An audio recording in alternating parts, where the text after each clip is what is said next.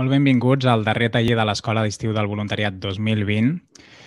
Ja us ho he anat dient aquests dies, l'Escola d'Estiu del Voluntariat és un projecte de la Direcció General d'Acció Cívica i Comunitària que ofereix activitats formatives gratuïtes i de qualitat per persones, per persones voluntàries, coordinadors i coordinadores de voluntariat i responsables d'entitats.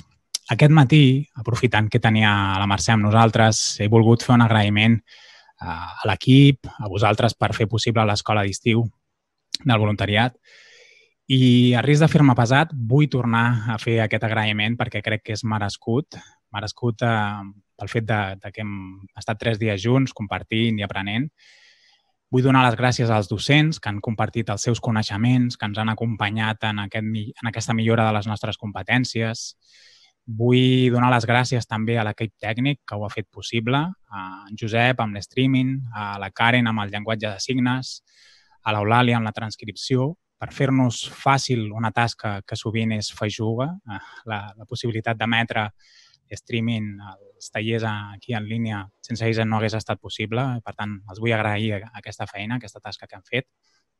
Evidentment, a l'equip de la Direcció General d'Acció Cívica i Comunitària per fer possible any rere any l'Escola d'Estiu del Voluntariat. Eh, per mi, un dels esdeveniments eh, més diferencials en quant a formació per a entitats i vull donar les gràcies especialment a, a l'equip eh, que ho ha fet possible, a, l'Eva, a la Sílvia, al Cristian i a la Neus, perquè aquest any eh, s'hi han deixat la pell, eh, han posat molt d'acord, han posat moltes hores de feina per transformar aquesta escola d'estiu del voluntariat, que, que havia de ser en presencial i, i degut a la situació d'emergència sanitària ens hem vist obligats a, a fer-la en, en línia i, i sense ells, sense aquesta dedicació, no, no hauria estat possible.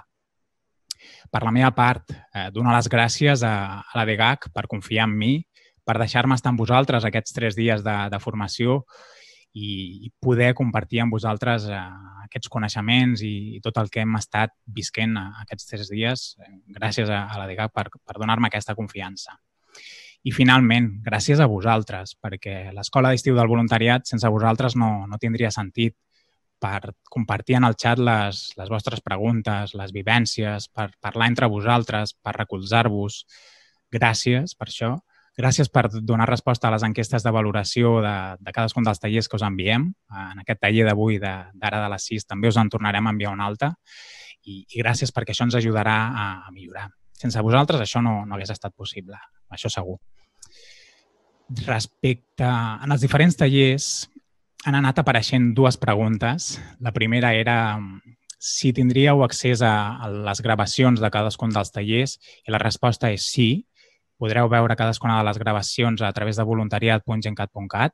Si voleu saber quan, quan estaran disponibles aquestes, aquestes gravacions de tots els tallers, us recomano que seguiu els perfils socials de, de la DGAC. Després al xat us posaré el, el nom de, dels perfils de Twitter, a Facebook, perquè ja ho anunciarem quan estiguin disponibles. Llavors, tots els que heu anat venint als diferents tallers o si per lo que sigui no, no heu pogut estar en un dels tallers, doncs podreu veure la formació i les preguntes que s'han fet i que s'ha respost. Una de les segones, la segona pregunta que també s'ha repetit durant aquests dies de, de tallers ha estat la, la necessitat o, o les ganes de continuar formant-vos en temàtiques semblants a les de l'escola d'estiu de, del voluntariat. L'any que ve, eh, molt probablement, tindrem una escola d'estiu del voluntariat. Esperem que pugui ser presencial. No sabem com serà el format, però podreu tornar a gaudir d'aquestes formacions orientades per entitats, per persones voluntàries. I així mateix, eh, comentar-vos que, que la DGAC posa a la vostra disposició un catàleg formatiu molt ampli, eh, impartit per escoles de formació de, de reconeguda experiència, que és el Pla de Formació de l'Associacionisme i el Voluntariat de Catalunya. Trobareu molts cursos de, pensats per persones de voluntàries, per treballadors, eh, d'entitats de molts àmbits, no només del sector social o l'ambiental. Trobareu formacions especialitzades per vosaltres i pels tipus d'entitats Eh, i, I el pla de formació, jo per mi seria, si teniu ganes de seguir millorant les vostres competències, si voleu continuar formant-vos, doncs seria el primer lloc on, on aniria a buscar i veure quins són els propers cursos que s'organitzen, veure el catàleg I, i, i, i de fet, el, el pla de formació també disposa d'una aula virtual, o sigui que si us, agrada el format en línia i a través d'internet, doncs a través de l'aula virtual.voluntariat.org allà podreu veure el catàleg de cursos en, en línia. Diria que la pàgina ara s'estan fent alguns canvis, per tant, potser si accediu ara o després quan acabem el taller eh, no trobareu la pàgina, però en uns dies segurament ja estarà totalment funcional. I si teniu ganes de seguir millorant i formant-vos, eh, és la meva recomanació i, i us encoratjo a, a que visiteu els espais de, tant del pla de formació de l'associacionisme i el voluntariat com l'aula virtual, perquè ja trobareu molts cursos. No m'allargo més perquè tenim avui una, un taller que, que crec que és molt, molt interessant, sobretot en, en el context amb el que ens trobem. Avui volem veure com podem transformar els nostres patrons relacionals perquè siguin efectius eh, ara que la proximitat física no és possible, sobretot ara que moltes de les nostres activitats es fan a través de pantalles, com aquesta escola d'estiu del, del voluntariat. I per això hem convidat a la, a la Joana Frigoler, ella acompanya els processos de transformació emocional de les persones, els equips i les organitzacions. Ajuda a dissoldre creences i relacions limitants que ens impedeixen aconseguir una, una vida plena i feliç. I a més ha escrit un llibre que es diu Posa llum a la teva vida, genera emocions i converses constructives. Molt bona tarda, Joana, com et trobes? Hola, bona tarda, Enric. Encantada d'estar aquí amb vosaltres aquest últim dia que ja respirem vacances i poder-lo acabar acompanyada de vosaltres és tot, és tot un honor en aquest món de voluntaris que, que també passen temps del seu estiu i del, del seu temps lliure eh, doncs en aquest taller. Sí, de fet, hi ha gent que ha fitxat en tots els tallers, eh? això t'ho asseguro, perquè jo vaig veient el xat i bé, no s'ha perdut un sol taller. I això que ja, és, ja estem en aquest moment que, com tu bé dius, de mig de vacances, començant una mica ja pensant en altres coses i han estat allà cada dia, cada dia, cada dia.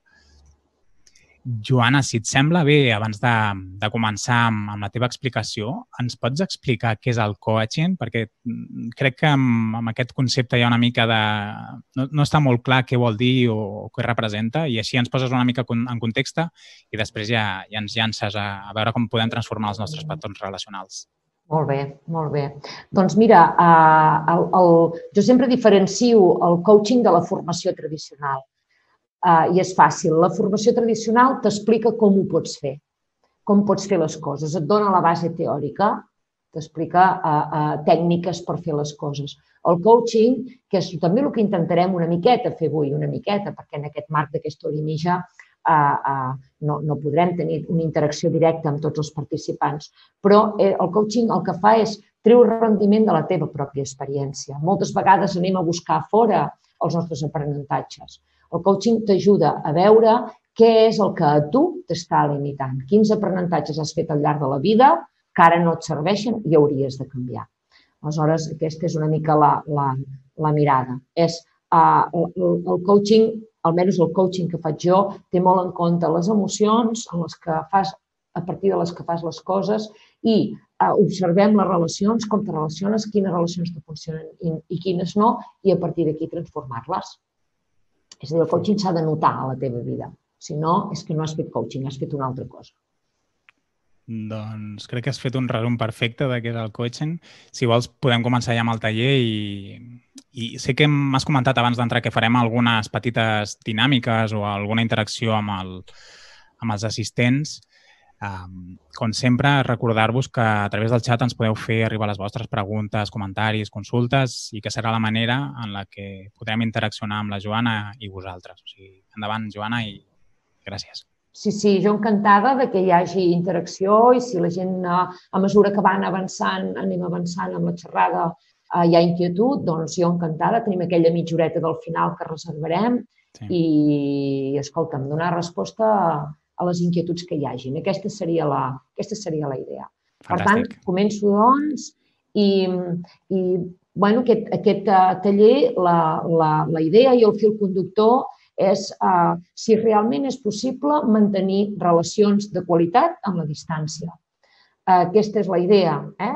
De cop, durant el confinament, ens vam trobar que els nostres patrons de relació normals, la relació directa, el, el, la proximitat no era possible i a part de totes, les, de totes les dificultats tecnològiques que cadascun de nosaltres hem hagut de superar, eh, des d'instal·lar aplicacions informàtiques o, o bueno, utilitzar el telèfon que habitualment no fèiem servir, o també la utilització de mascareta o les distàncies relacionals, que ara ja no ens podem saludar amb una abraçada, sinó que ens hem de saludar pel colze.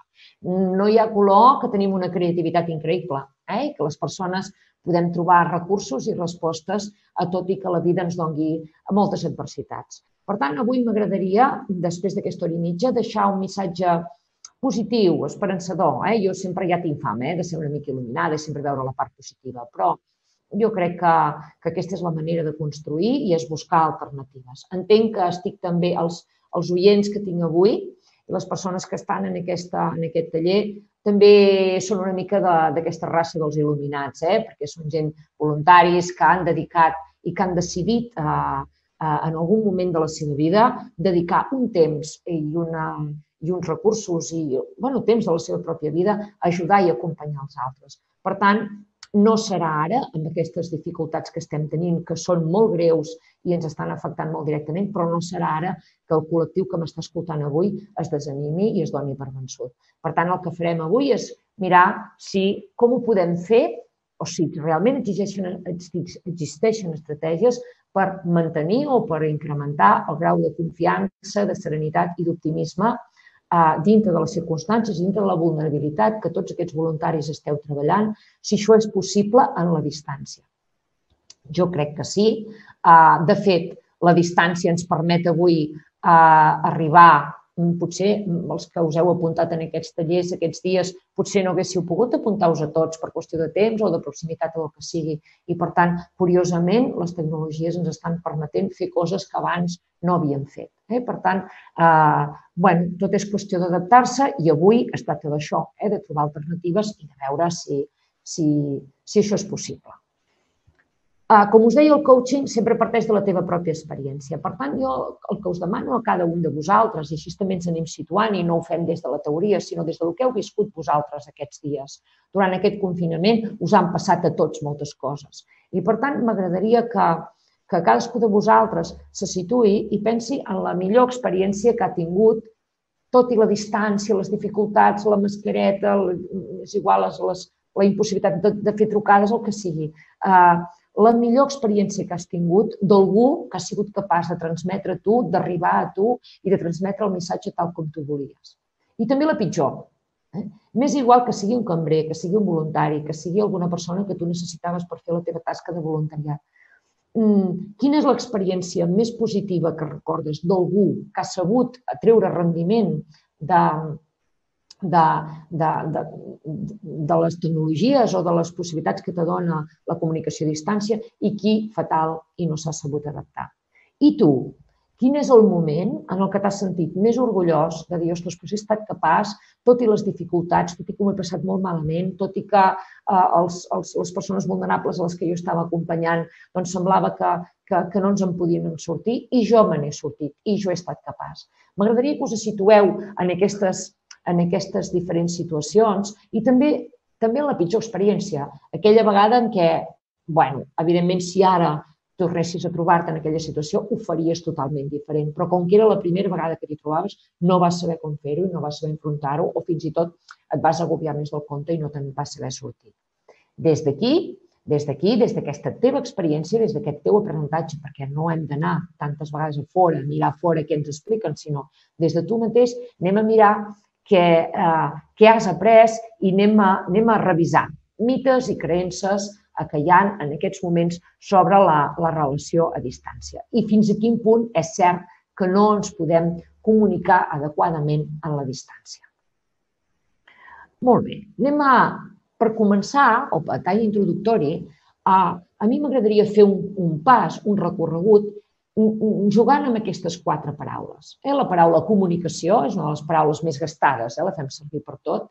Comunicar, fem un pas més i anem a transmetre, fem un, pa, un pas més i anem a utilitzar el nostre poder d'influència i fem un pas més i anem a parlar de l'aportació de valor. Si tu ets voluntari, és perquè tu vols aportar valor a les persones i als col·lectius als que acompanyes.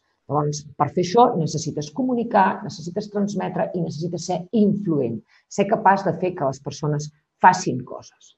Anem a veure el, el valor o, o què és per mi aquestes quatre paraules i veurem, per tant, la, la, la diferència i, i, i jugarem amb això i veurem amb aquestes experiències que tu has pensat o que tu has recordat de tots aquests dies, a com has funcionat en cada una d'aquestes quatre paraules. Uh, bueno, anem a veure sense proximitat física què passa. Uh, I anem a buscar la definició típica i tòpica eh, de, de, que són preguntes de selectivitat de tota la vida, o que jo crec, no sé quan fèiem això de la comunicació, jo crec que es fa a cada curs, des de que som petits, es parla de la comunicació, que hi ha un emissor, hi ha un receptor, hi ha un missatge, hi ha un canal. Aleshores, aquesta definició tan bàsica que no la repetirem ara, no? però en tot cas, eh, què ens ha passat eh, durant aquest confinament i què ens està passant ara també, potser, no? amb, amb el tema del distanciament i, i uh, uh, el, que, el que ha canviat és el canal, sobretot. El canal amb el que transmetem el missatge i, per tant, això influeix moltíssim en la manera de transmetre les coses i de, i de, de comunicar-nos amb els altres. Perfecte. Però a mi no m'agrada parlar de comunicació, queda molt curt. A mi m'agrada més parlar de transmetre. La comunicació parla de l'emissor, del receptor, del missatge, del canal transmetre. A mi m'agradaria posar el focus en tu, en tu. Uh, és a dir, jo ara també estic en la distància, no? però jo què t'estic transmetent? Te transmeto uh, perquè faig una sèrie de coses tan bé com sé en aquests moments, no? però què t'estic transmetent? Aleshores, el que posem el focus avui és tu què transmets en el teu dia a dia? Aleshores, transmetre es pot fer de la manera que, de, de moltes maneres, i no necessàriament s'ha de fer via directa. Transmetre què vol dir? Que jo sóc capaç de captar l'atenció, encara que sigui una trucada per telèfon o que sigui, sóc capaç de que l'altre m'escolti, mm, estigui atent al que jo li vull dir.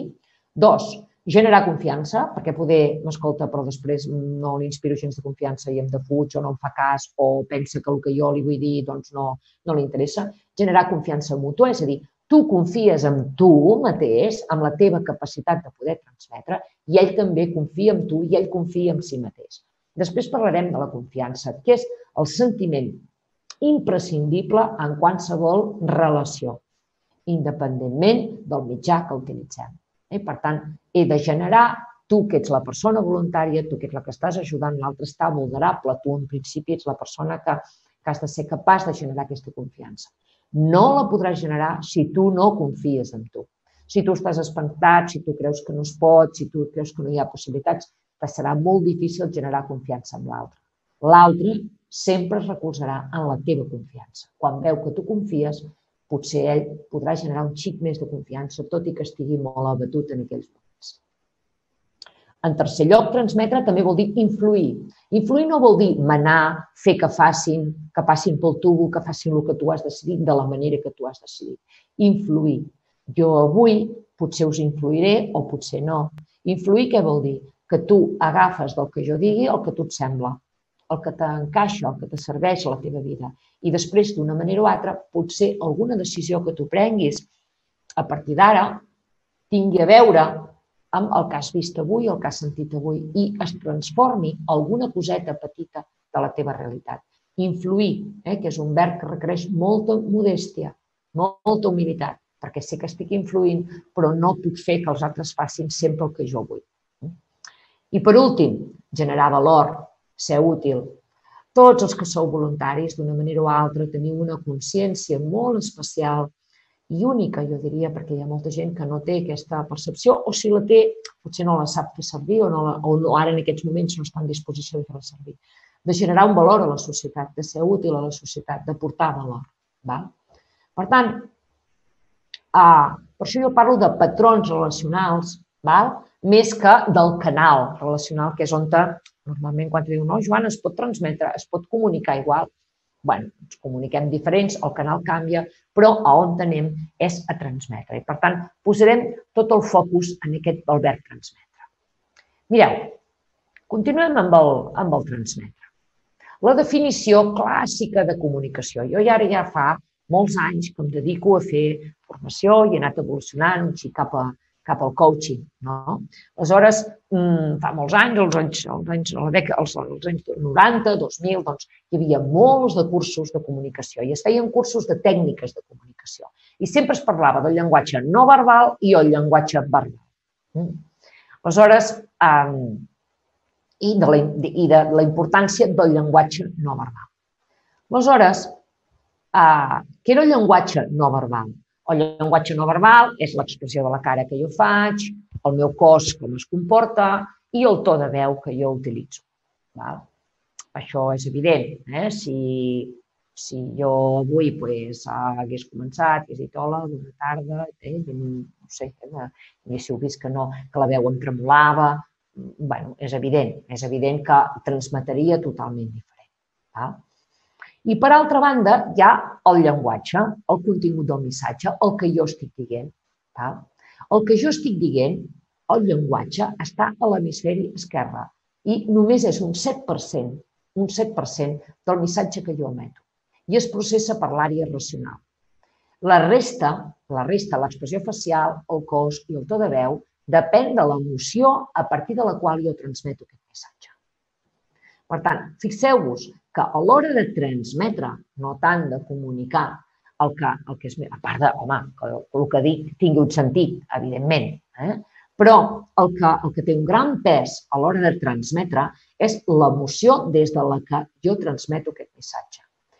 Per tant, per què, què vull dir amb això? Que el meu interlocutor, encara que jo estigui per telèfon i no em vegi la cara i no em vegi el cos, sí que té el meu to de veu. I el meu to de veu té un gran poder per transmetre l'emoció en la que jo estic. Mireu, jo em dedico a, a fer coaching habitualment i, i quan va començar el confinament molta gent em deia, ostres, no, és que si no és, si no és de tu a tu, el coaching individual, si no és de tu a tu i directe, doncs, doncs no, no, no, prefereixo esperar a presencial. En canvi, la gent que va voler fer-ho, ens vam donar compte que, ostres, podem transmetre també. També podem, és a dir, si podem parlar i podem, podem haver-hi haver, haver emissor i receptor i podem comunicar-nos. Per què no? Hi ha moments no? Eh, que ostres, ara t'abraçaria o ara, ara vindria a dir-te, bueno, doncs abraça'm amb el cor. Abraça'm amb el cor i digue-m'ho d'una altra manera. Eh? Hi ha moments que ens emocionem i potser plorem tots dos, d'acord? Però eh, tot i que sigui més difícil, diferent, eh, i això ens implica canviar una mica totes les nostres rituals i les nostres maneres de fer, eh, el que voldria transmetre amb això és alerta que, que és molt més important a tenir clar des de quina emoció fas el que fas. Val? I quan tu estàs enfadat, quan tu estàs trist, quan tu, eh, eh, quan tu tens por, quan tu no confies, d'una manera o altra també li estàs transmetent això a l'altre. Ja ho sabeu, això, els que teniu eh, mainada petita, teniu nets, teniu fills, teniu, és igual, eh, nebots, o que també teniu gossos, per exemple, no? que bueno, capten de seguida la vostra emoció eh? i per tant, i no parlen. No? És que no necessiten parlar, només és un 7% del missatge, tot l'altre ho capten amb la teva manera, amb la teva manera de fer. Eh? Per tant, eh, anem a, a posar el focus on l'hem de posar i a confiar i a convertir les, les noves tecnologies en les nostres aliades per poder transmetre allò que volem transmetre. Més coses típiques i tòpiques d'aquesta diapositiva la vaig anar a recuperar d'un curs de l'any de la Quica que feia quan feia cursos de parlar en públic. Val? Per tant, mm, el que us estic explicant és de, de jo crec que és dels anys 80 o més, eh? que els primers estudis científics que es van fer de com es transmetia la comunicació, que això era als anys 60, però això agafa una gran embranzida a la dècada dels 80-90. Val? I això és important. És, Fixeu-vos una cosa. Uh, una cosa, jo, el que, un, fixeu-vos com va de generar el missatge. Eh? El que jo penso, el que dic, el que l'altre escolta, el que l'altre comprèn, entén i integra, el que recordarà i el que farà servir. Per tant, jo sempre, quan, quan, al llarg dels anys, quan feia formació de parlar en públic, sempre deia, tingues molt clar quin 20% vols que recordin perquè tot l'altre no ho recordaran. Llavors, el difícil és controlar quin 20% es queden. A vegades jo em trobo alumnes de, o gent que ha fet coaching al llarg dels anys, no? I me diuen, ostres, encara me'n recordo, Joan, aquell dia que vas dir allò. Dius, valga'm Déu, jo, quan jo vaig dir això, vols dir que vaig dir això. Sí, sí. Eh? Llavors dius, bueno, no era el 20% que jo volia, però vale, clar, cadascú es queda amb el que es queda. Val? Per tant, eh, mm, anem a veure una altra diapositiva que també ens complica molt més aquest 20%. I això sí que és important per, a, per les tecnologies que utilitzem. Mireu, eh, el que els, els missatges no? Tenim el, quan, quan a tu te diuen una cosa, te diuen una cosa per l'oïda, pel llenguatge, i tu l'escoltes, al cap d'un moment s'ha esfumat. El llenguatge és molt difícil de, de recordar. Jo, per exemple, tinc una memòria auditiva molt dolenta, per tant, em, em costa molt recordar els noms de les persones. Eh? En canvi, la, la cara o, o, o inclús l'emoció no? que aquesta persona m'ha generat quan l'he conegut, això no se m'oblida en ma vida. No? Però bueno, el nom és un, és, un, és un problema. I no és perquè sí, és perquè el, el, el, el llenguatge és, és un pensament lineal. Jo dic que el llenguatge no té colors, no? El llenguatge és tot lineal, és tot seguit, és blanc, blanc i negre, té un ordre, és seqüencial. Val? Per tant, el que entra només per l'orella, per això els formadors fem diapositives i vinga, i després fem exercici, després que ho apliqueu a la vostra experiència, etc. Uh, després tenim un altre nivell, que és el visual. Tot el que entra pels ulls entra més fàcil que no pas si només ho escolto. Val? Per tant, si jo he vist, per exemple, el nom d'una persona escrit en algun lloc, és possible que el recordi més fàcil. Si, a més a més, li posem un color, això ja és la bomba. Val? Però el que em passa a mi, per exemple, és que recordo el color, però no. Eh? Avui reiem amb el meu fill perquè li explicava eh, que jo recordo la primera nòmina que vaig cobrar quan vaig començar a treballar. Dic, mira, no me'n recordo de la quantitat, val? però sí que me'n recordo que era un paper blau, eh, hi havia dos o tres ratlles escrites que hi havia allò, suposo que era un salari base, no sé què, no sé quantos, els complements, i recordo l'olor que feia el paper. O sigui, que estupendo, eh? A, a vegades tinc memòria d'aquesta visual que no em serveix per res, no? Eh, eh, ja no parlem de l'orientació. Eh? L'orientació és un altre, un altre tema que no toca aquí, però també en podríem parlar. Val? I després hi ha el, el corporal, la memòria corporal, el sentir.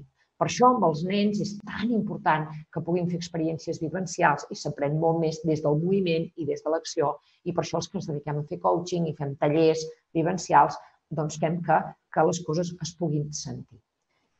Tots els missatges que tenen aquests tres canals, és a dir, el que, que hi ha el sentiment, que hi ha l'emoció, que l'altre ho pot veure, ho pot imaginar-ho, vale? es recorden molt més bé.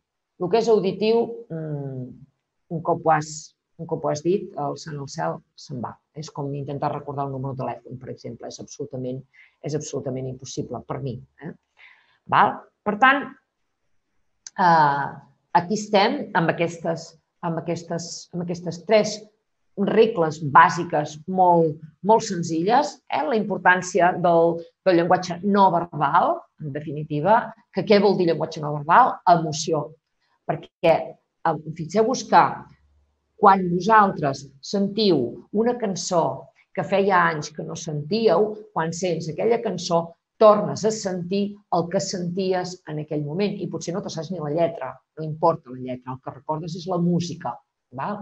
perquè la música està en una altra, eh, ja és ja aniríem ara amb una altra història que no, que no cap, eh? però els, el, les lletres en música, per exemple, es recorden molt més. Bé, dit tot això, dit tot això, eh, a, on vull anar a parar? Vull anar a parar a què, per tant, quina emoció tu transmets i des d'on tu transmets el missatge. Això és el més important, tot i les dificultats tècniques que puguis tenir. Val? Aleshores, Mm.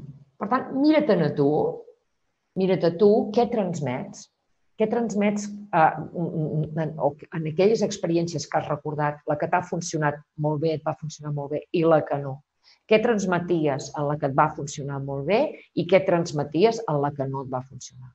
Què transmetia la persona que tu te va fer sentir molt bé i què transmetia la persona que et va fer sentir fatal o que no te va agradar. Eh? Llavors hi ha aquesta premissa bàsica de coaching, eh, que jo sempre l'utilitzo i és la primera, és no pots donar als altres el que no et dones a tu mateix. Encara hi ha gent que creu que diu, no, jo estava de mal humor, no, jo estava preocupat, no, jo, no, jo no el trago, a mi em fa molta ràbia, però no ho nota. A veure, mmm, heu vist que el 93% de la comunicació és no verbal. Per tant, l'altre ho detecta. Eh? I el lòbul prefrontal se n'assabenta de tot. Eh? Per tant, eh, eh, es tracta de posar més el focus en, en, en jo, en jo com estic i jo com estic visquent. Mireu, jo sempre aprofito totes les oportunitats, i aquesta n'és una, a vegades la gent me demana, fes un taller d'això i d'allò, dic, vale, però aprofitaré la vinentesa. I sempre aprofito la vinentesa per dir, ei, uh, sigueu líders d'on estigueu, sigueu pares, sigueu mares, uh, sigueu companys de feina, siguis d'on estiguis, uh, cuida't a tu, perquè te necessitem, que tu estiguis bé, perquè el que transmetis sigui útil. Eh? Cuida't a tu perquè te relacionaràs amb els altres i amb la vida en funció de com te relacionis amb tu mateix. Aquest és una mica el missatge pel qual anirem donant voltes avui. Eh? És a dir, uh, que difícil ens ho ha posat la vida no? uh, per fer voluntariat durant aquest temps. No? Ens ho ha complicat encara més. No? Llavors, com viure, com conviure amb aquest present en el que estem ara, uh, de manera que puguem transformar al màxim possible aquest present i generar un futur que sigui dintre de les dificultats suficientment pròsper, eh? perquè sé que no, no ho teniu fàcil i, i, i esteu treballant en col·lectius molt difícils. Llavors, tot això eh, hi té a veure amb les emocions i les relacions. Què vull dir? Mireu, en aquests moments, eh, vosaltres, nosaltres, tots, tots d'una manera o altra, estem en, en, en procés de dol. Estem, l'altre dia feia una xerrada, vaig compartir una xerrada amb Sor Lucía Caram, no?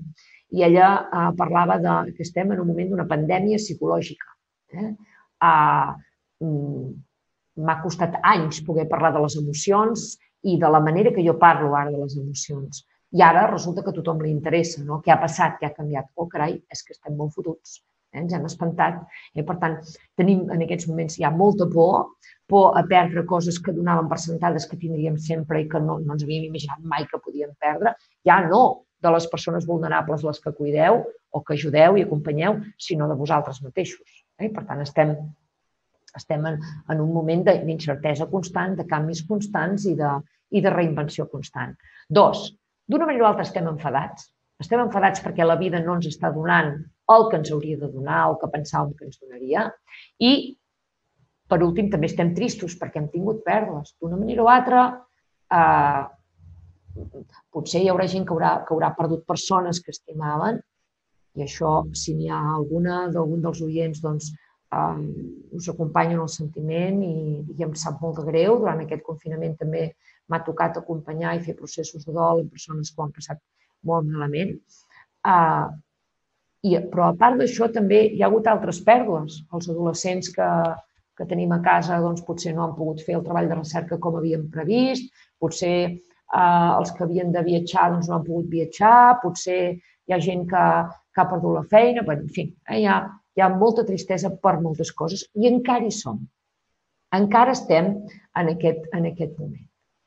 Però també sé que, que els que m'esteu escoltant sou gent, com us he dit, una mica especial, una mica una raça especial, perquè si sou voluntaris és que esteu una mica sombats, una mica il·luminats. Perdoneu, eh, totes les meves disculpes, eh, però jo sempre dic de posar una mica de sentit de l'humor perquè si no, la mare de Déu, tan serios, no ens en sortirem.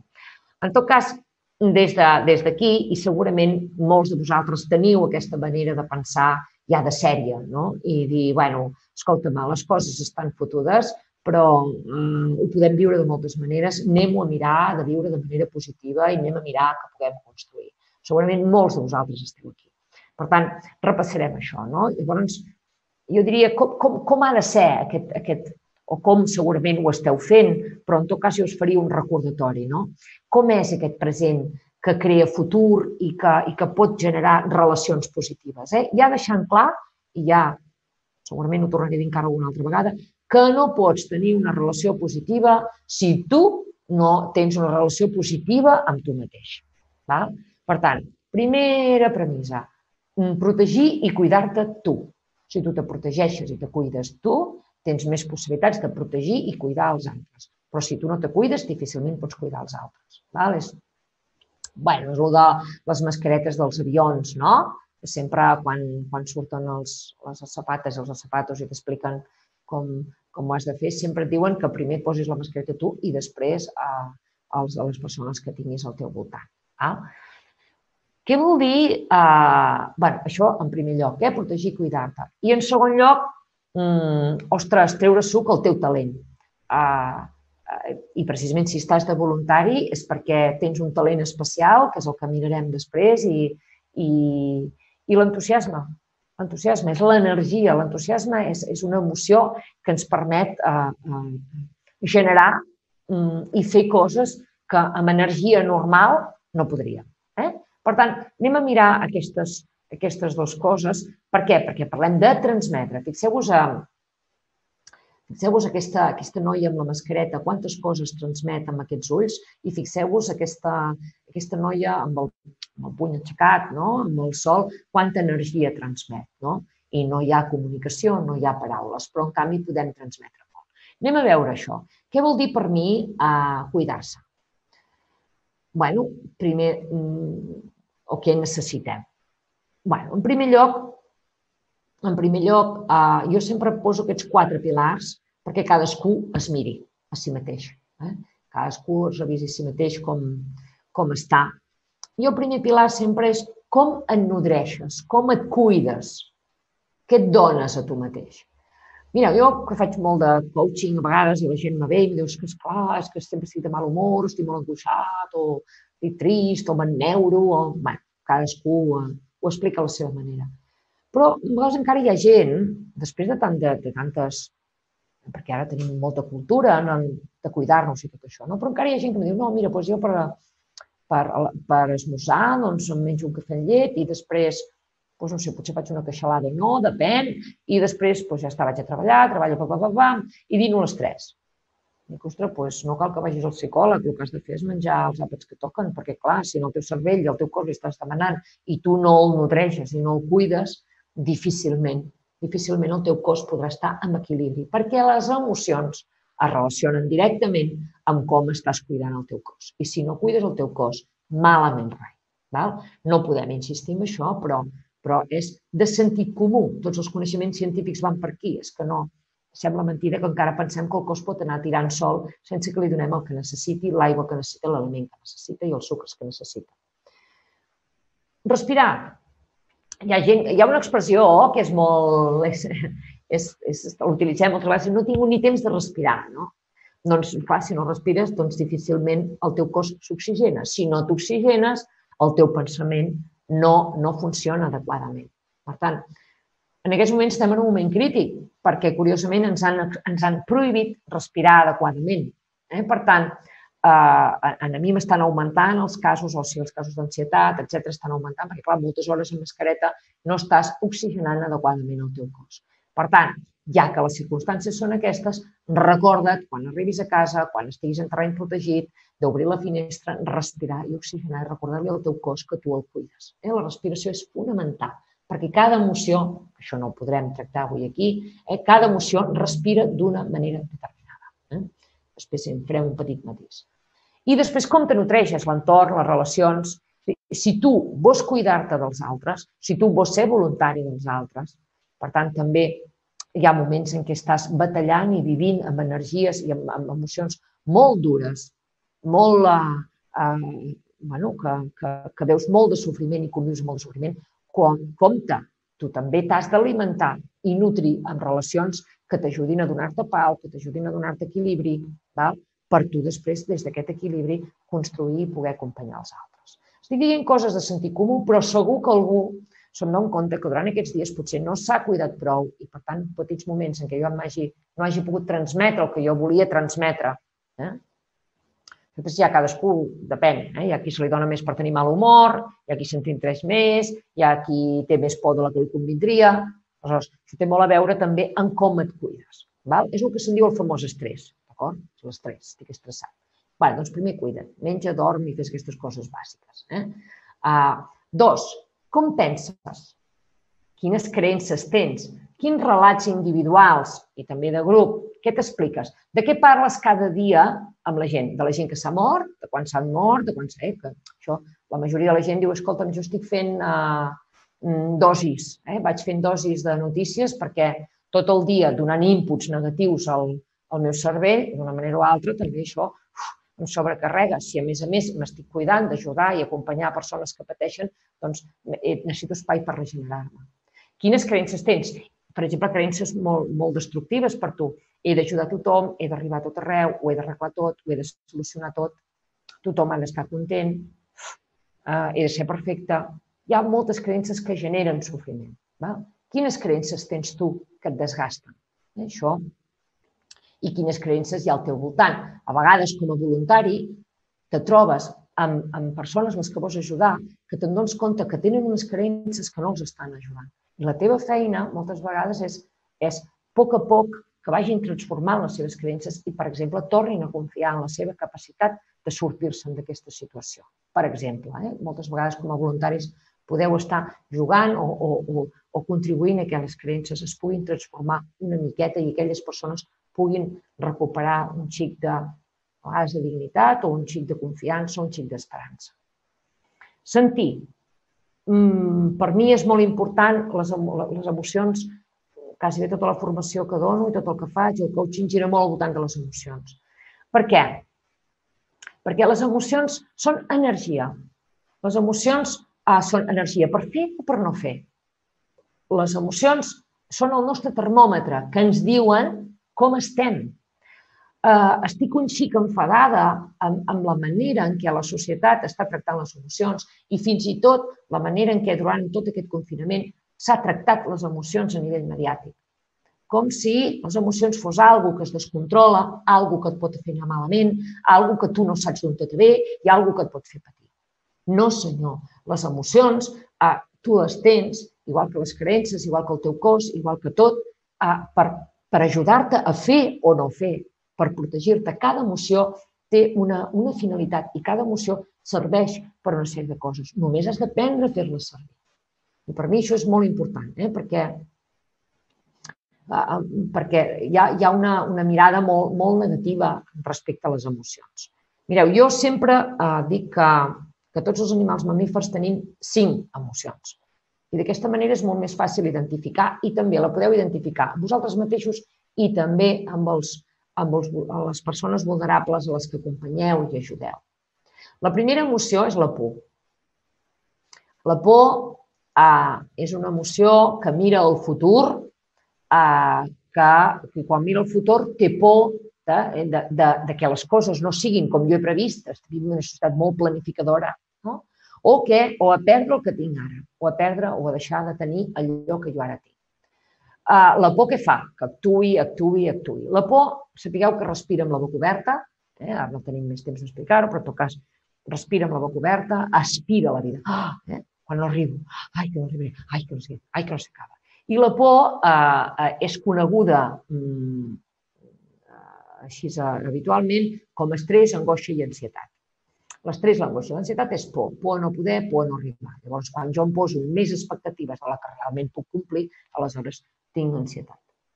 Però la por, en petites dosis, t'ajuda a tenir cautela, no jugar-te-la. Per tant, llavors, què has de fer per treure-te la por o per calmar-te la por? Bé, ja ho veurem després, eh? però en definitiva és centra't en el que pots fer, centra't ara en el present, calma, respira, Eh? I tot això que penses que passarà després, de moment no ha passat, per tant, centra-te en el que t'has de centrar en aquest present. La ràbia és una emoció mm, molt castigada, molt mal vista. Eh? Per què? Perquè quan es desmadra, eh, quan es dispara, mm, ostres, eh, causa estralls eh? I, i la liem amb la ràbia, la liem. La ràbia és una emoció que té molta energia i ens permet anar endavant. I moltes vegades quan tu has dit ja n'hi ha prou, això s'ha de resoldre, aquesta gent l'hem d'ajudar, això no pot ser, no ho podem deixar passar. És la ràbia que t'està ajudant a fer això. Si no t'haguessis indignat, i no, si no t'haguessis indignat una miqueta perquè la societat és com és, no estaries fent de voluntari. Per tant, la ràbia és la que te permet dir ja n'hi ha prou, això ho hem de canviar i això no vull que sigui així. Però què passa? Que a vegades quan, quan poso injustícia no n'hi ha o quan, quan se me dispara, llavors és la ira, llavors he d'aprendre a gestionar-la. La ràbia és una emoció de present. És, ho faig ara i després ja parlarem. Eh? Per això després a vegades la liem eh? i després ja eh, hem de demanar perdó perquè l'hem liat. La tristesa és una emoció que em permet eh, fer el procés de dol. La tristesa és una emoció que em connecta amb el passat i acceptar el que s'ha acabat i el que no tindré més. Val? I, per tant, és una emoció molt útil per fer els processos de dol. I, per tant, en aquests moments hi ha tristesa. A vegades la gent diu que estic cansat, dic, no, estàs trist, eh? no tinc ganes de fer res, no tinc energia. La tristesa és una emoció per estar amb tu, per estar sol, per acceptar que ja no hi ha. Val? Aquestes tres emocions en aquests moments estan superpresents a, a les persones a les que ajudes i tu també les tens. Llavors, ser-ne conscient val, a, a, et pot ajudar a, a, a equilibrar-les. La quarta emoció, l'alegria. L'alegria és la que dona vida, és l'energia, l'alegria, eh? les ganes de fer, eh? l'entusiasme, l'eufòria, el subidon. Eh? L'alegria és l'emoció social per excel·lència, és la que, és la que ens permet a eh, connectar amb els altres, eh, és el somriure, és l'eufòria, és la passió, totes aquestes tenen a veure amb l'alegria. Ja sabeu que és molt útil. I per últim, l'amor, la gran ignorada. Val? Parlarem moltíssim de l'amor eh, perquè mm, la, la por és l'energia que et permet tenir cautela, la ràbia per anar endavant la tristesa per deixar anar i l'alegria per compartir. I l'amor és l'emoció que ens permet construir. Si heu fet en el passat cursos d'intel·ligència emocional, és possible que no us hagin parlat de l'amor, que és un escàndol que no es parli d'aquesta emoció, que és l'emoció que dona la vida. El que passa és que l'amor s'entén d'una manera cursi, eh? Um, però l'amor és, uh, és, uh, és la, la serenitat, la gratitud, la, la tranquil·litat, el plaer, la fluidesa, la confiança, la visió, la il·lusió, eh, la fe, tot això és amor. L'amor és la capacitat de donar i rebre. Donar als altres el que necessiten i també saber rebre. I totes les relacions es basen en un equilibri entre el donar i rebre. L'amor és la capacitat de reconèixer-me a mi i reconèixer els altres. D'acord? Bé, ja en parlarem, però en tot cas l'amor ho fa tot fàcil, ho fa tot fàcil. Uh, si és difícil, no és amor, és tristesa, ràbia o por. Eh? Ho dic per això perquè a vegades les cançons diuen cançons d'amor. No, si són cançons de són cançons de por, cançons de ràbia, de tristesa, per haver perdut l'amor. Però l'amor uh, no fa patir. Eh? Bé, um, en tot cas, en tot cas uh, què vull dir amb això? Que um, les emocions són molt importants. Es parla moltes vegades de la resiliència. Què és la resiliència? La capacitat de superar les adversitats. Tots tenim aquesta capacitat de superar les adversitats. Tots. Quan els humans tenim una, una energia extra, tenim emocions extres que es disparen en moments claus en què necessitem superar adversitats. No les fem servir sempre. La valentia, el sentiment de justícia, la transparència la tenacitat són la combinació exquisita d'aquestes cinc emocions que us acabo de dir i que ens permeten assumir amb proactivitat i resiliència les adversitats que ens puguem trobar a la vida. Uh, també dir-vos que um, segurament i no seria just si només us parlés de la proactivitat i el positivisme i la resiliència i vinga endavant. Eh? També dir-vos que, ostres, que segurament durant aquest, durant aquest temps us heu trobat en situacions injustes, doloroses, us han entristit eh, i que, mm, per tant, la proactivitat, el positivisme i el bon rotllo no són suficients. Eh, tenir la capacitat de de, de conviure amb la humilitat eh, i l'acceptació també és important per vosaltres. Eh? La humilitat i l'acceptació, perquè si no podem fer sentir fins i tot impotent en el voluntari, en la persona a la que estem ajudant. És a dir, que també tenim límits eh? i que no podem arribar a tot arreu. Bé, en definitiva. I per últim, ens caldrà fer coses. Eh? Hi ha gent que és molt que es té unes emocions fantàstiques, que es cuida molt, que és molt positiu, però després no sap demanar, oferir, no sap, no sap utilitzar l'empatia i l'assertivitat i aleshores no sap fer el que ha de fer. No podràs ajudar els altres si no saps demanar eh? o si no saps fer-te visible. Oferir fer-me visible per als altres o, per exemple, no sé posar límits a l'hora d'oferir-me.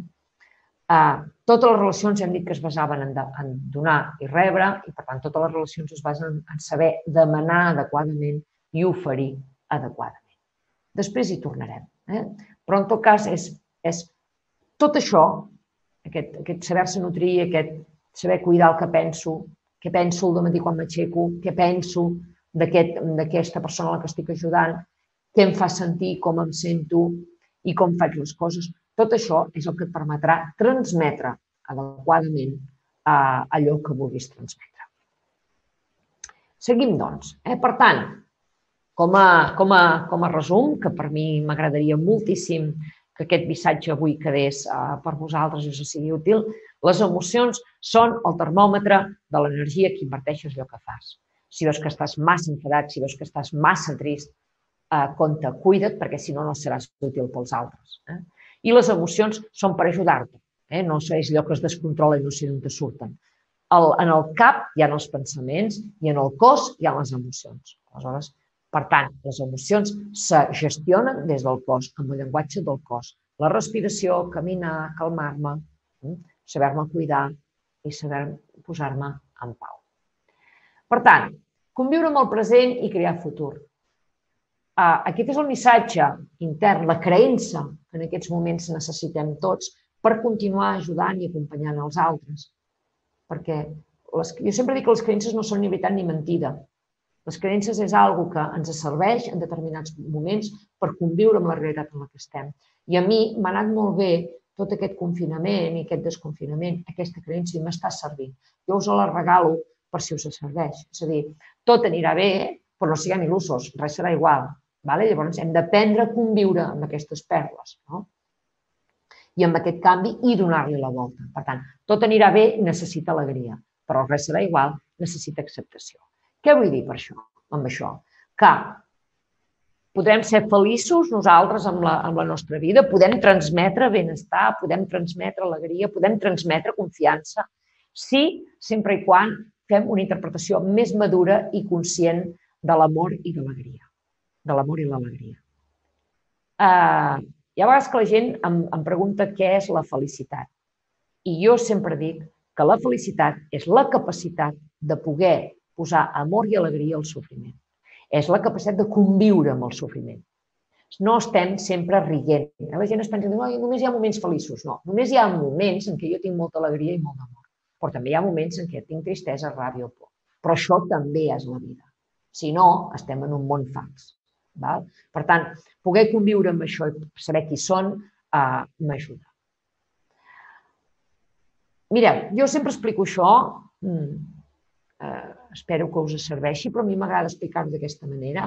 Quan tu, la, la confiança uh, implica que hi ha por. Hi ha persones que són molt segures de si mateixes i ho tenen tot controlat. Mm, I després el dia menys pensat ho perden tot. O sigui, no, no, no existeix això. En canvi, la confiança sap que que hi ha coses que es poden perdre, però, però la por i l'amor generen confiança. I, bueno, ja me'n sortiré amb les vegades que ho he fet bé en el passat, amb la gent que tinc que m'envolten, amb tot el que tinc, ja me'n sortiré. Mm? Llavors, això és el que ens permet tirar endavant, la confiança, tot i que sí que serà difícil. La tristesa amb amor és la melancolia. Una cosa és caure en la tristesa profunda i l'altra la melancolia. La melancolia és dir, ostres, tan guai que era, no? Ostres, quin greu que s'hagi acabat però va ser xulo mentre hi va ser. I la ràbia amb amor és molt útil, és la fermesa, és la determinació, és dir, cas on dent, això ho faré, perquè jo vull fer això i vull, vull anar endavant i vull que això funcioni. bueno, en definitiva, tot això, tota aquesta explicació que us estic fent, ve d'insistir en la importància de que tu prenguis consciència de amb quines emocions vius habitualment i quines emocions estàs transmetent. Aleshores, el que tu hagis d'explicar, el que tu hagis de transmetre, el que tu hagis de fer, serà molt més fàcil si ho fas des de l'amor i des de l'alegria, acceptant que estàs trist i acceptant que hi ha coses que són difícils de fer. Per tant, uh, com funciona el, el, ball de la, el ball de la confiança? El ball de la confiança funciona que quan jo miro el meu passat i miro jo les vegades en què ho he fet bé, les vegades en què me n'he sortit, les vegades en què he estat capaç, potser ara aquesta situació en la que estic ara és totalment diferent. Me sembla que és diferent, me sembla que és totalment nova, però tu ja t'has trobat en el teu passat en situacions difícils. Com ho vas fer? Val? Llavors, la confiança no tracta de solucionar les coses, sinó d'obrir possibilitats. I estic aquí i dic, bueno, ja me'n sortiré, ja, ja me'n sortiré, de moment faig el que puc fer i ja està. Ara, quan jo me centro en el que vaig perdre, en el que no, en el que no, en el que no sé, en el que em, em, em, i em poso de víctima, i ai, pobre de mi, uh, uh, aleshores només penso en, en, en, en no perdre, tinc molta por de perdre. I després també, que, que, és a dir, tu estàs normalment, o és molt possible que estiguis acompanyant a persones que tenen la confiança molt malmesa. Llavors, torno a insistir, necessiten de la teva confiança. Necessiten de la teva confiança per, per tirar endavant i per, i per, uh, bueno, per en sortir-se'n, o si res més no, per poder conviure amb la seva realitat.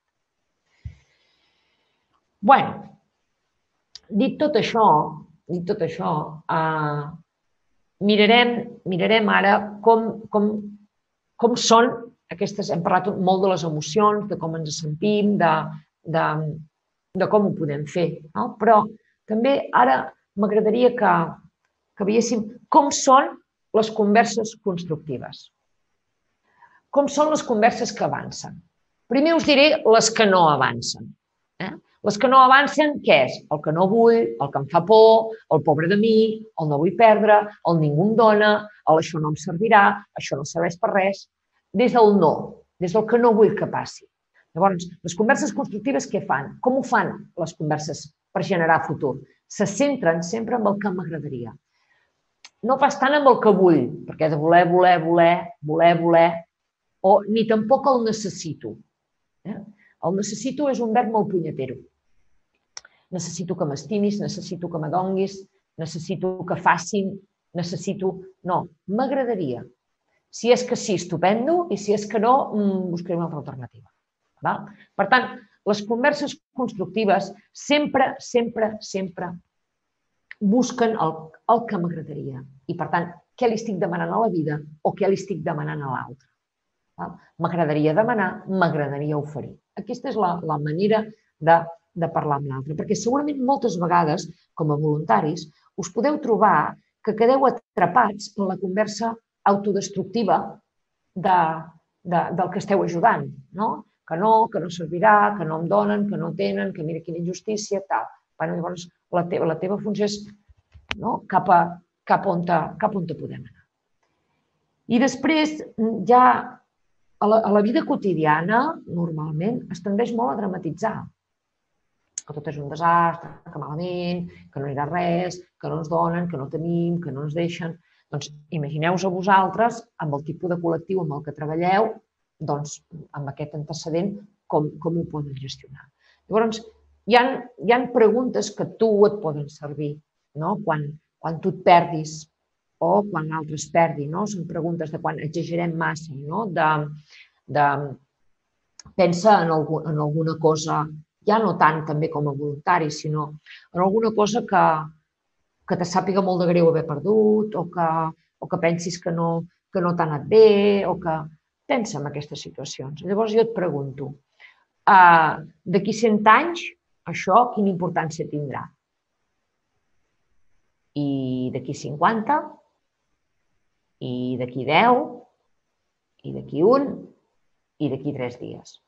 Quan et passi alguna molt greu, o quan que tu consideres molt greu, que te facin rabiar molt, que ho trobis indignant. No? Llavors, sempre poso a 100 anys. D'aquí 100 anys, quina importància tindrà? I això t'ajuda a relativitzar i a posar en el futur aquesta situació, eh, perquè és que si no, si, si a tot li posem una, un, un grau de drama, eh, nosaltres també ens, ens cansem i ens esgotem, que això ja ho sabeu. Eh, segona pregunta això que ha passat és molt greu. Uh, em sap molt de greu i és molt dolorós. Uh, segona pregunta, hi ha gent que pot viure tot i això? Hi ha algú que ha pogut sobreviure? Sí, val, d'acord, doncs de moment ho deixem aquí perquè hi ha algú que ha pogut sobreviure. I has perdut moltes coses, no pots fer el que estaves fent, has perdut uh, coses que donaves per sentades, però hi ha algú que sí pots fer? Doncs potser de moment, doncs no sé, doncs potser de moment ni només menjar, potser de moment només trucar un amic, potser de moment no sé. Què és el que sí pots fer? Ja sé que has perdut tot això, però què és el que sí pots fer? I després hi ha una altra pregunta molt poderosa, que és, si d'aquí cinc anys continuo com estic ara, com estaré d'aquí cinc anys? Val? Visualitzar-te en futur i situar-te en futur sempre t'ajuda a relativitzar i a dir, val, doncs vinga, som-hi i centrem-nos en el que sí puc fer i el que està al meu abast, tot i la gravetat de la situació. Fixeu-vos que tot això va centrat, no us he parlat ni de tecnologies ni de res, perquè clar, la veritat és que no, no, no sé, eh? busquem algú que ens ajudi i, i els nostres fills ho fan fantàstic d'ensenyar-nos com fan les tecnologies. No és aquesta la idea, sinó és la teva funció com a tu has, has decidit assumir la responsabilitat d'acompanyar a persones vulnerables, doncs si vols assumir aquesta responsabilitat, el que jo et proposo és assumeix la responsabilitat de tu poder transmetre confiança. I tot, perdoneu, i tot això va destinat a transmetre aquesta confiança. Per tant, eh, aquí anem. Eh? El futur és ara, tot anirà bé, però res és igual. Aleshores, sigues agraït eh, amb el teu passat, mira, mira quines coses de, de, tot, de, tot aquest, de tot aquest passat vols recuperar. Bé, això en parlarem després, si cal, ja en parlarem. Centra't en el present i confia en el futur.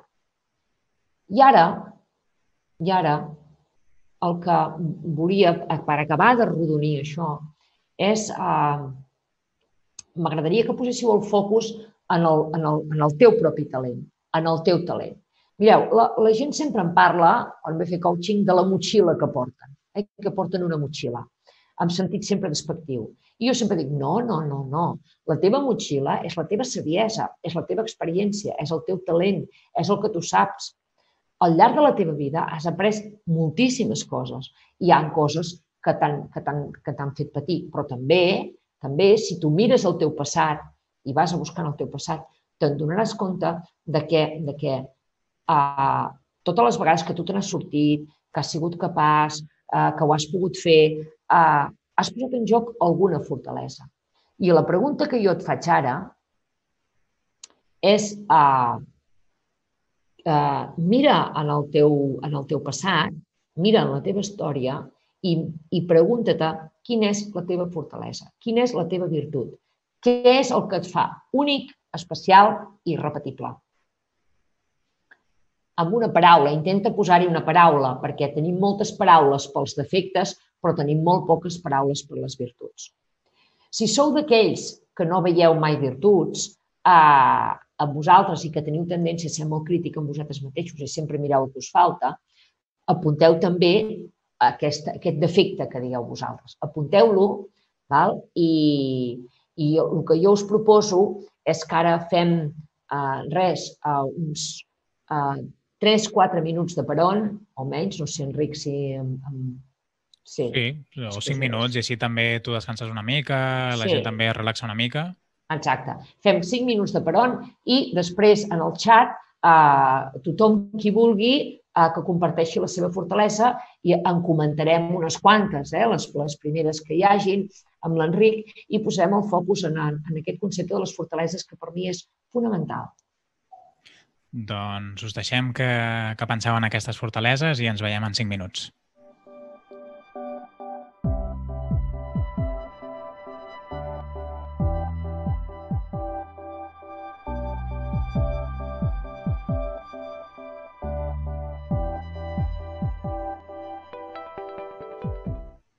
Doncs, si vols, Joana, ja t'he anat comentant més o menys el que ens han dit al xat. Ens vols comentar algunes de les, de les fortaleses que ens han dit els, els assistents? Sí, sí, els il·luminats coincideixen bastant amb les fortaleses. Eh? Surten, es repeteixen tal com tu m'has comentat, constància, positivisme, paciència, empatia, perseverància, adaptació, ganes d'ajudar, generositat. Per tant, per ser voluntari es necessiten unes fortaleses. Val?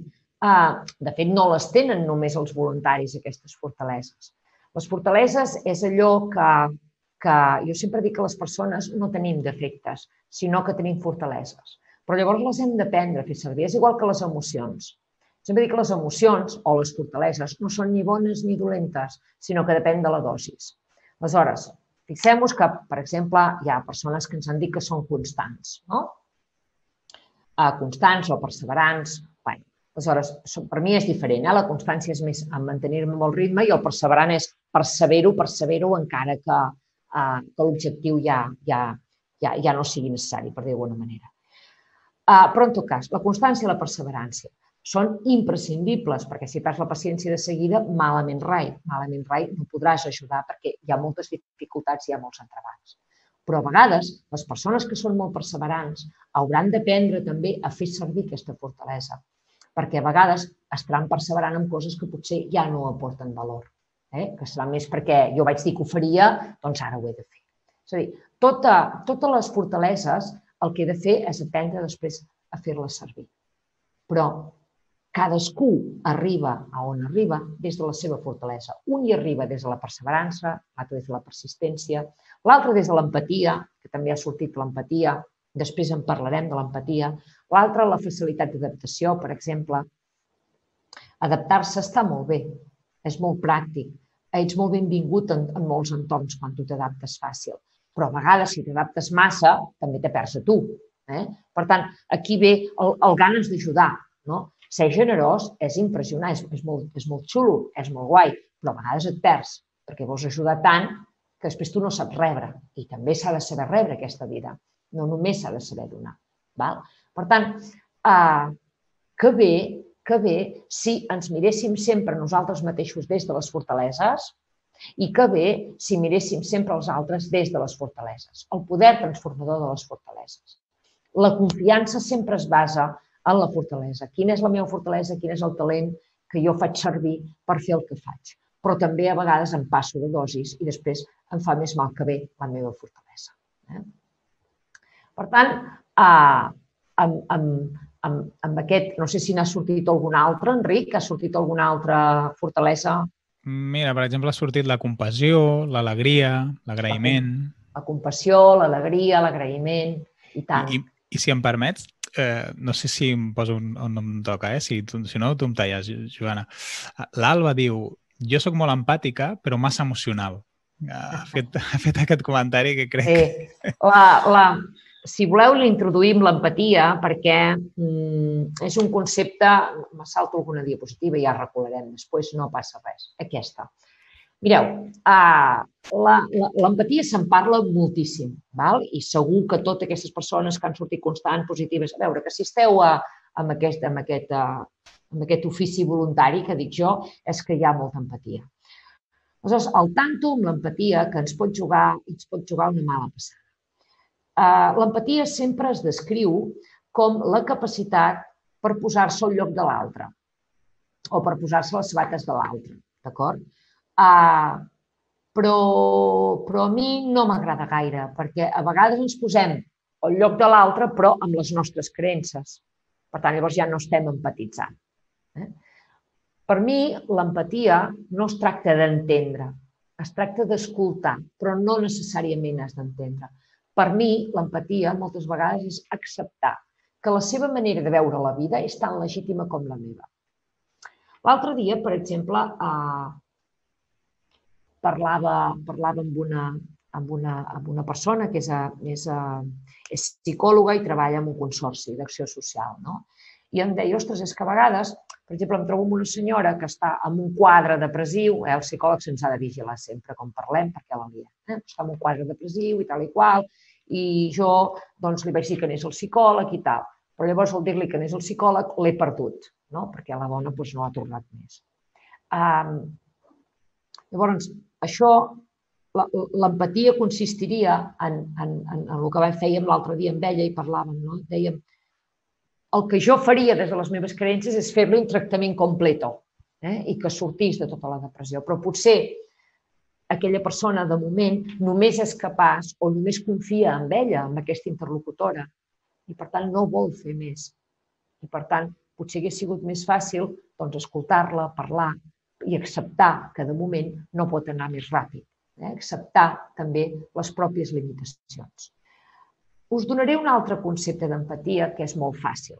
Mireu, l'empatia mm, sempre eh, escolta pel passat, sempre escolta una història, sempre escolta un relat.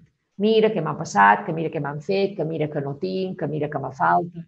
Val? Aleshores, les persones empàtiques se'n donen compte que si són massa empàtiques acaben escoltant, escoltant, escoltant, però després d'allò aquell relat no ens en sortim.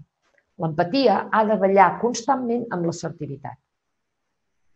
L'empatia escolta el que va passar i sobretot les opinions, la interpretació del que va passar, que no me van donar, que no van fer, que no he pogut, que no me deixen, que jo no puc, que sóc incapaç.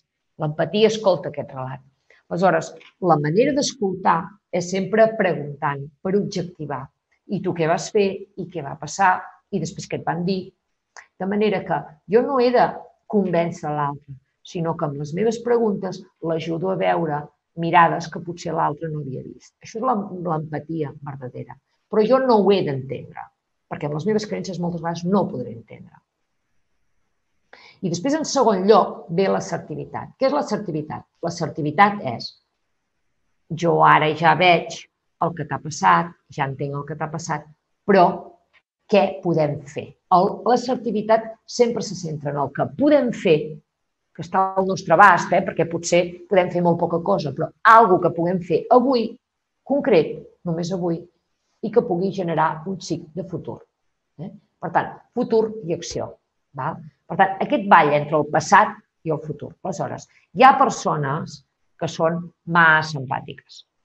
I aleshores li compro tant la història, li compro el relat, li compro... I després estem tots dos deprimits. Val? o tots dos tristos o tots dos enfadats en la injustícia, però després no podem sortir del pou. O tothom m'explica històries, però després jo no sé de què fer-ne. I només me busquen a mi per explicar-me problemes i dificultats. Hi ha persones que són massa assertives val? i que van tan a saco amb el fer, fer, fer, fer, fer, que no fan aquest ball, no? demanar, oferir, acordar, eh? d'utilitzar el que m'agrada. I a partir d'aquí, no? les persones que són molt decidides, molt perseverants, molt tenaç, tendeixen a ser més aviat massa assertives. Les persones que són molt comprensives, molta paciència, moltes ganes d'ajudar, tendeixen a tenir massa dosis d'empatia. I a partir d'aquí, en aquest ball, hem d'anar aprenent cada un de nosaltres a fer servir aquestes habilitats. Val? Què vull dir amb això? que tinguis la fortalesa que tinguis, sempre tindràs alguna per aprendre, però és des d'un sentit positiu. Si ets massa constant, a vegades hauràs de dir, bueno, és que no cal ser constant amb això, potser ja n'hi ha prou. Si ets massa positiu, potser també hauràs d'aprendre que a vegades també s'ha d'escoltar els que es queixen i que no sempre tot es pot arreglar ni tot es pot solucionar. Si tens massa paciència, potser a vegades has de tenir prou paciència i dir que ja n'hi ha prou d'aquest color i que ja està bé d'aguantar. Si ets massa empàtica, potser escoltes massa rotllos i després la gent realment no fa res o tu acabes fent el que haurien de fer ells. Si ets massa perseverant, eh, potser a vegades perseveres on no caldria eh? i estàs fent coses que potser ja, ja, ja està, ja te donem la raó, no cal, no cal, eh? ja seràs l'únic del cementiri que tindrà raó, però vinga, R que R, perseverant amb el teu punt de vista. Si t'adaptes massa, perdràs a vegades el teu centre i els altres et portaran al huerto. I si ajudes massa, a vegades deixes d'ajudar-te tu. Per tant, no hi ha res ni bo ni dolent, sinó que és aprendre a fer-ho servir. I com ho sé? bueno, pel resultat que tinc. Eh? Pel resultat que tinc. Tot això per què és important? Perquè si tu tens clar amb tu, pots acompanyar en els altres també d'una altra manera. Pots acompanyar els altres des de, des de també mirar les fortaleses. Ja sé que en cap cas és comparable amb el tipus de persones que les persones que estan escoltant això segurament acompanyeu. Però jo sempre dic, quan ve una persona a fer coaching i li obro la porta el primer dia, no? que dius, valga'm Déu, no? hi ha vegades que, que la gent ve fotuda, no? perquè ve en el seu moment més vulnerable, en el moment més vulnerable de la seva vida, potser, o en aquella etapa. No? I, I jo dic, bueno, a veure, quina fortalesa deu tenir aquesta persona que no es veu aquí darrere, no?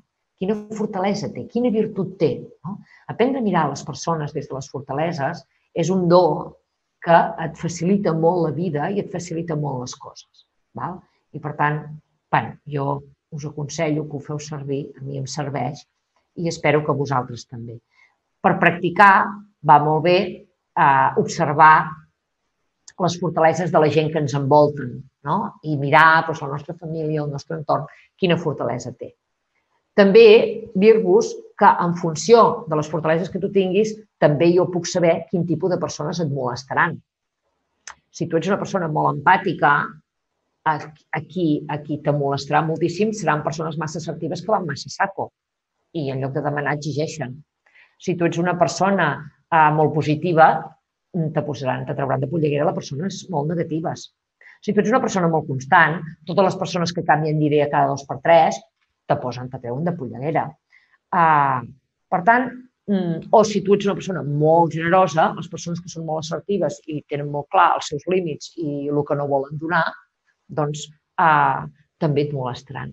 Per tant, des d'aquesta humilitat, des de saber que en funció de com sóc jo, doncs me molesten determinat tipus de persones, doncs mm, això és important.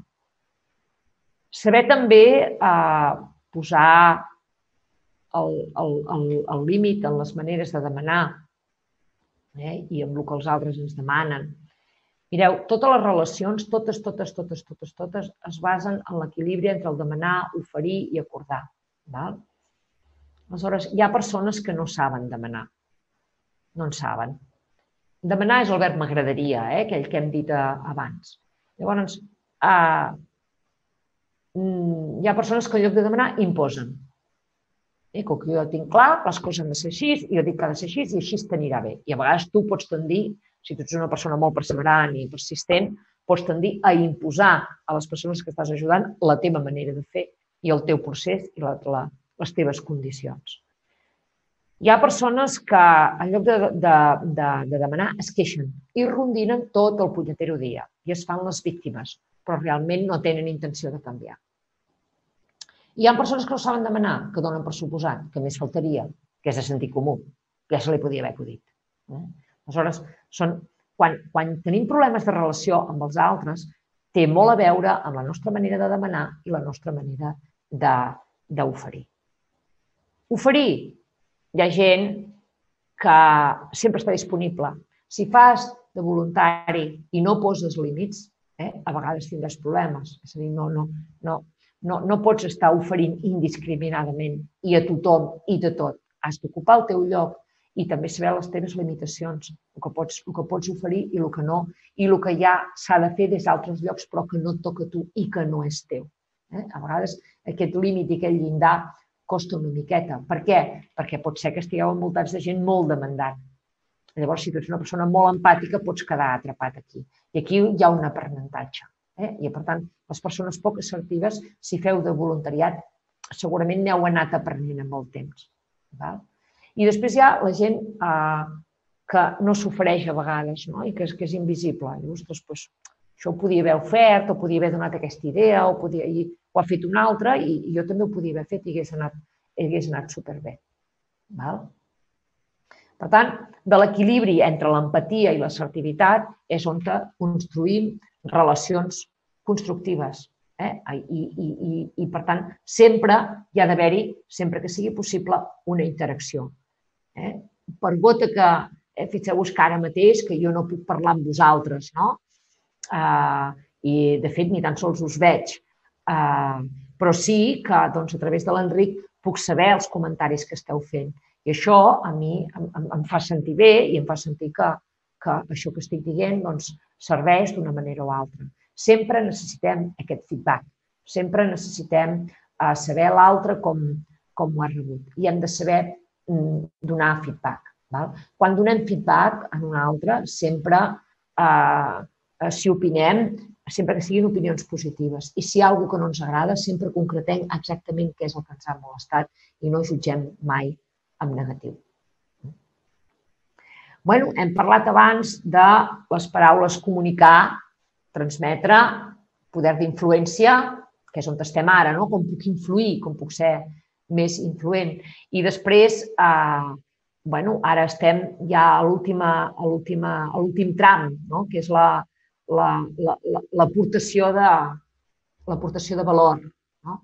Aleshores, en l'aportació de valor eh, hi ha preguntes que segurament tots vosaltres eh, us haureu fet, no? però jo us en regalo unes quantes. És a dir, vosaltres segurament sou persones utilitzeu i poseu molt en joc eh, quatre competències bàsiques, que és la solidaritat, el sentiment de valentia, justícia i constància. Sapigueu que en tots aquests casos hi ha una combinació exquisita eh, de tristesa, ràbia i por combinada amb una gran dosis d'amor i alegria. Eh? Per tant, ara, quan us enfadeu massa, li heu pujat la ràbia, heu de baixar, eh? No cal que us indigneu tant. Llavors, eh, jo et regalo preguntes. Eh? Hi ha alguna cosa que podries fer ara més per aportar més valor?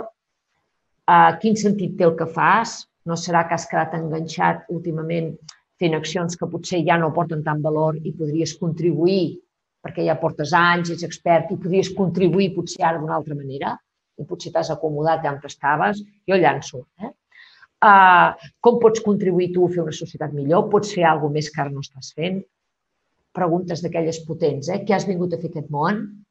Uh, què més hi vols hi portar? Com vols ser vist?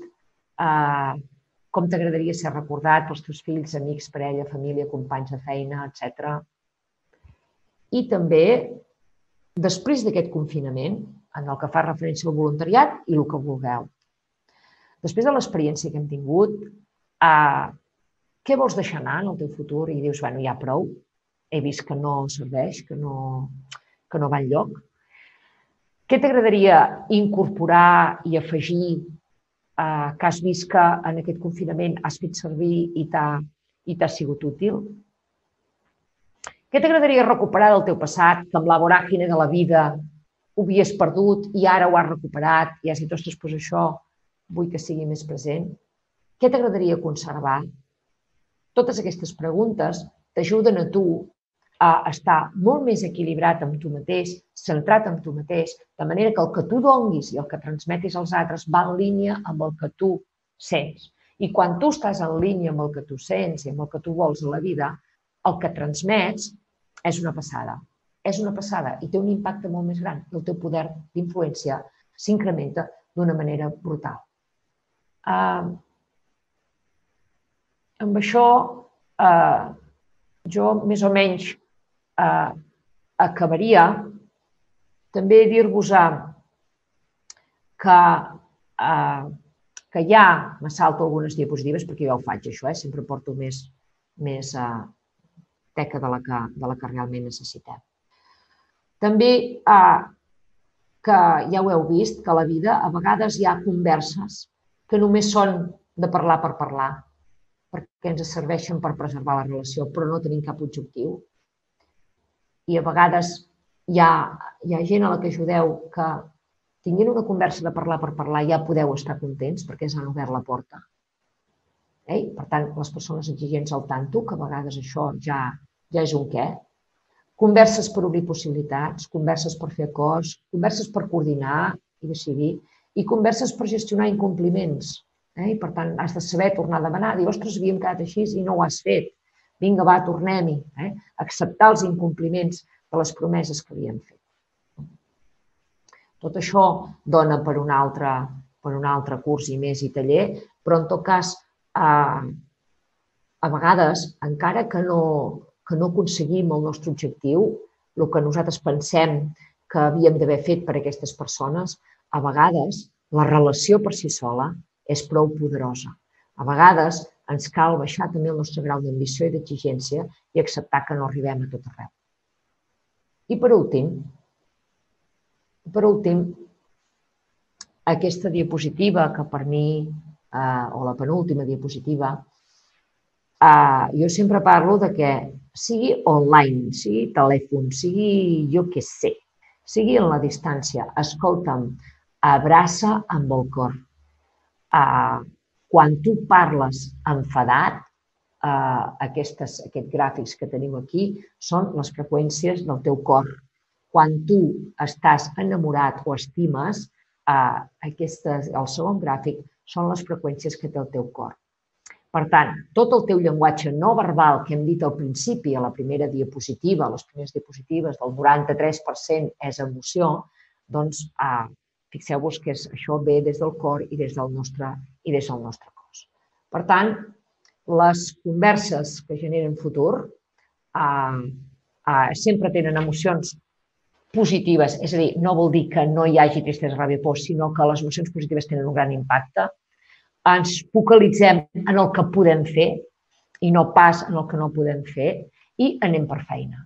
I ens focalitzem en el que sí podem fer i el que no, doncs, doncs mala sort. Aquesta seria la meva, la meva conclusió. Espero que, que us hagi servit i ara l'Enric em dirà si teniu preguntes. Mm, deixo mitja horeta perquè la gent pugui comentar eh, i estic a la vostra disposició per contestar tot allò que vulgueu. Jo us explicaria això, això molt més i no acabo mai el meu rotllo, però em penso que amb el que us he explicat eh, com a tall d'introductori crec que és suficient. I, i seguim, seguim, seguim, seguim, que hi ha molta feina a fer i molta esperança general. Doncs, Joana, mira, si vols comencem per la primera pregunta. És una persona que, que no s'ha identificat amb el seu nom i, per tant, no, no et puc dir ni de l'entitat ni, ni si és un home o una dona, però, bueno, la pregunta és, és ben vàlida, per tant, te la, te la faig. Mira, diu, diu, tenemos personas que han perdido su pareja. ¿Cómo podemos decirles para que se sientan con un apoyo real, como si fueran, como, y cómo vamos a poderlos ayudar nosotros? Es pregunta això. Ai, sí, és un procés de dol. El procés de dol és punyetero. Uh, haver perdut la parella o haver perdut una persona que estimes, uh, el primer de tot és legitimar el seu dol, legitimar la seva tristesa. Fixeu-vos que hi ha una frase estàndard que, que s'utilitza sempre en els enterraments eh? i quan, quan, quan fem un condol. I la frase és t'acompanyo en el sentiment i després l'abracem. O si és molt formal, li donem la mà, però el seu és t'abracem, t'acompanyo, et faig companyia. Et faig companyia i llavors, quan una persona està en procés de dol, només pot fer present. És a dir, ara que toca menjar, ara que toca dormir, ara que toca aixecar-me. I mínim. Per què? Perquè la tristesa et deixa energia al mínim, perquè no hi ha ganes de fer res. Aleshores, el fet de que puguin anar fent una coseta cada dia no? i en aquell present eh, puguin anar fent. Perquè la, les, les emocions, encara que hi hagi un to molt, molt baix, perquè hi ha molta tristesa, sí que, eh, eh, que això socialment no està legitimat. Però sí que en un moment determinat puc riure, sí que en un moment determinat puc fer, ostres, hi ha, hi ha un moment en què també em puc connectar amb les altres emocions. Aleshores, centrar-se sense pressionar, però centrar en el que sí pot fer. És a dir, l'altra persona ha perdut el futur que tenia previst. Per tant, tu com a acompanyant, en aquest present pots veure el que sí pot anar fent ara i tu saps que allò l'ajudarà en un futur, sense posar-li massa pressió de futur, eh? perquè, si no, perquè ara mateix ho veuen tot, tot molt gran. Recordeu que en el procés de dol hi ha primer una negació, eh, una negació, després hi ha ràbia, després hi ha tristesa.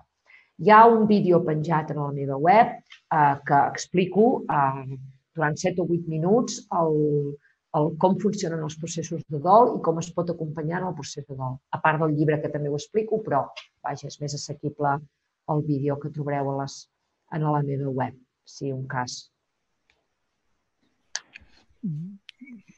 Que tothom, quan acabi el taller, visiti la teva pàgina per veure aquest vídeo. Mira, Uh, L'Alba ens pregunta si tens algun llibre que parli de l'amor, com, com ens has explicat, i de fet tenim una resposta d'una altra persona que parla d'un llibre de, de Deep Chopra, uh, que és Hijas de l'Alegria. No sé si tens alguna referència que també li pugui servir a l'Alba. Mm. Bueno, el, la manera que jo tinc d'entendre l'amor està explicat en el meu llibre, que per això té un nom així, eh? posa llum a la teva vida, no? Ah, perquè l'autor, l'editorial em va dir que diu, si posa amor a la teva vida no te'l comprarà ni Déu, i dic, vale, doncs que posin llum, eh? però la, aquesta manera d'entendre l'amor està explicat en el, en, el, en el meu llibre i, i, i, és, i el llibre és un compendi eh, de tots aquests autors que, que jo he anat recollint al llarg dels anys. I hi ha molts de casos pràctics també explicats. La Lourdes ens pregunta en com fer la gestió dels incompliments i com els pot tractar en un futur, de, del punt sí, d'incomplir i el futur. Exacte. L'incompliment és... Eh, les persones que són poc assertives i els hi costa molt demanar, clar, demanen una vegada i després si incomplim, jolín, tornar a demanar costa, costa no? Llavors, eh, el, els acords els fem en un moment determinat, en unes determinades circumstàncies, però després potser han canviat les condicions i potser l'altre no ha pogut complir. Llavors, quan l'altre incompleix, a vegades potser és perquè jo he donat per suposat determinades coses també. Llavors, quan l'altre incompleix, sempre haurem de preguntar des de la presumpta innocència. És, què ha passat? Com és que no hi has pogut? És a dir, quan l'altre incompleix és perquè en la primera petició realment no hi havia compromís. Nosaltres, eh, i a més en aquest nostre país, utilitzem molt el sí de la cortesia, que en dic jo. Eh? El sí de la cortesia és, vale, vale, vale, ja ho faré, però de fet no m'he plantejat ni si podré fer-ho o no. I després dic, ai, em sap greu, eh, però no he pogut, no he tingut temps. Val? Aleshores, realment, en el, en el, quan tornem a, a tenir aquesta conversa i dir, escolta, doncs, ja que no has tingut temps, anem a mirar com ho podem fer perquè tinguis temps. No? i hem de tornar a revisar i, i a legitimar el fet de que l'altre no ho hagi fet. Perquè normalment ens enfadem i llavors ens, ens comencem a acusar. El que no s'ha de fer mai és fer això que fem a vegades. No? M'empano, m'enfado, ja no sé què, perquè no ho ha fet, ti, ti, ti, ti, ti, perquè això genera molt de ressentiment. És a dir, les relacions tant de poder tenen les converses que tenim com les que callem. Val? I allò que callem moltes vegades té molt més poder perquè hi ha, hi ha ressentiment. Eh? Per tant, si, no, no, si té dificultats per gestionar l'incompliment, és que li costa demanar moltes vegades les coses. Eh? Per tant, hi ha un aprendre a demanar. Aprendre des del m'agradaria, m'aniria bé, i llavors acordar de manera diferent. Fantàstic. Mira, per, per la seva part, la Montse ens, ens diu que ella fa voluntariat no? i que la seva família li diu que està massa ancorada en el voluntariat i que hauria de fer altres coses. No? I ens pregunta fins a quin punt eh, està atrapada en ser voluntària o, o ha de fer el que, el que vol. I fa aquesta, com aquesta pregunta, no sé si la pots respondre, no? però mm. eh, que bueno. té aquesta lluita amb la seva família respecte mm. al que fa. Clar, Uh, jo crec que abans t'ho comentava tu, Enric, no? És a dir, si el fet de fer voluntariat fa que ella després, esclar, tu pots fer voluntariat quan, en principi, quan tu també tens les teves necessitats cobertes, no? Llavors, jo diria que la, la, la, la, la, la, la balança és aquesta. Esclar, si ella està fent voluntariat, però després algú altre ha d'assumir el que ella no està fent, potser és així.